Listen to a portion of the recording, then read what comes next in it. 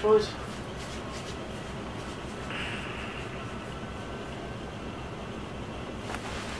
Floyd?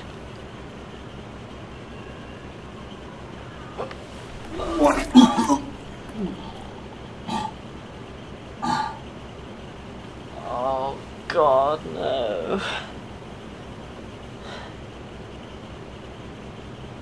Really, you have a problem with me. Now, I don't know whether it's that you're uncomfortable around some women, or you're threatened by me in particular, or, you know, I think that's so much. What have you done?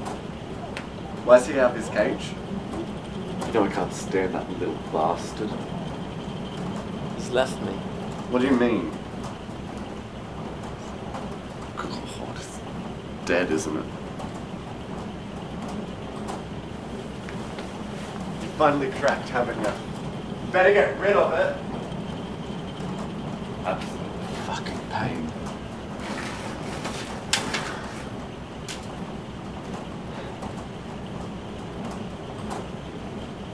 Take some medication, flush that thing, and shut up, would you?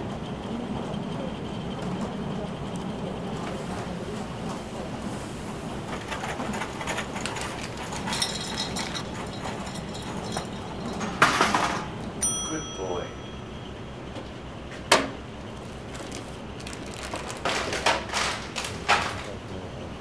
They've got the bloody Earl Grey again. Can't stand this cheap tea. Nah, it's that cheap body I can't stand. My art is electric. I'm not a pessimist. Why is Floyd out of his cage? He might run off. Wouldn't worry about that. Furry bastard's dead. There you go. You, um, getting rid of him then?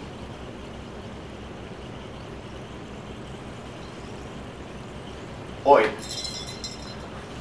I'm not saying it's got to happen now, but Floyd is going to need flushing at some point. But Floyd always wanted to be buried underneath a tree in, in a field. I don't think that's going to be possible anymore, mate. The toilet is still dignified, though. I just.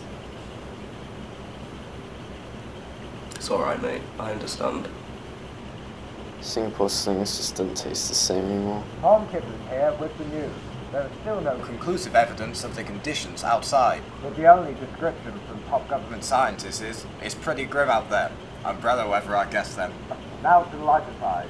Series 4 Drunk Cats on Obstacle Courses will kick off at some point today, so stay tuned. Remember, stay happy, and the rest will sort itself out. I'm Tom Kipling. Have a good day. Good day, my ass.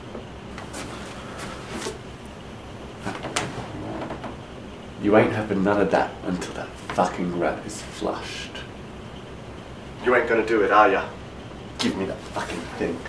Andy, please! You've gone bloody mad, haven't you? Andy!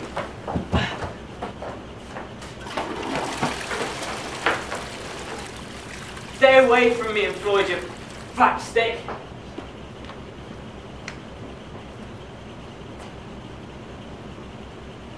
I think he's lost it. I can't deal with this in my pants.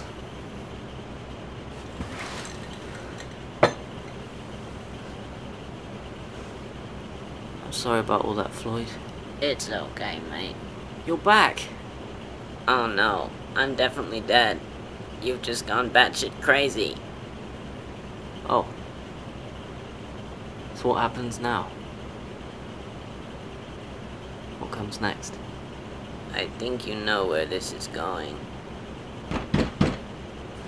Eric, open this door. We've got to sort this out. Please, promise we won't hurt you. I wanted to. Bugger off!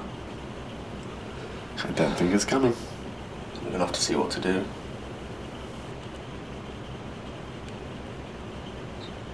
Menu. Channels. There it is. What? Advanced instructions, that one. Okay, so we want help. They've gone crazy. Hi, I'm Tom Kipling, and this is How They've Gone Crazy. HTGC is a self-help guide to safely subduing your housemate who has gone over the edge. Hidden under the kitchen sink is a cricket bat. Go and grab that now. Here's one I made earlier. Now, boys, No, the government are lying to us. They're lying to us. As you can see from this odd fellow, we have our very own mad housemaid here. I shall now show you how to safely subdue him. Tom, Kipling, you- look at me now. Your God is alive! Alive!